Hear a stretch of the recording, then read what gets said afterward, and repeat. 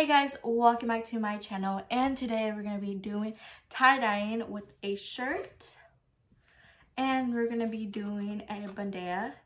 So let's get started with this video.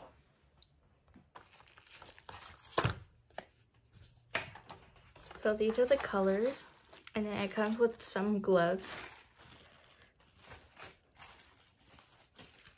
So for uh, the shirt, I'm going to use this blue and purple. And then for the bandana, I'm going to use the teal. I think this is teal and pink. And then it comes with rubber bands. And then I'm going to just twirl it. Until I get like that kind of design and put the rubber band on it.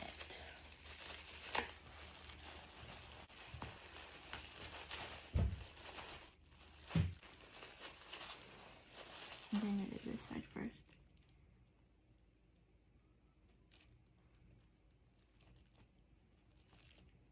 And then I'm going to start doing the purple, but I'm going to still leave the blue out there, so just in case I need to put more in there.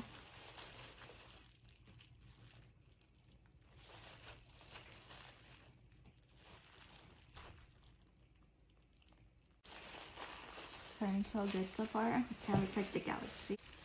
So when you think it's completely done, um, you want to put it in the bag and then leave it for six to eight hours. It could be a plastic bag. So next I'm gonna do embedea, and I'm just gonna. It's already folded like that, so I'm just gonna fold it oh, just like that and fold it one more time and just put two rubber bands. So when you're done, you want to wet it. So yeah, with blue. Just like that.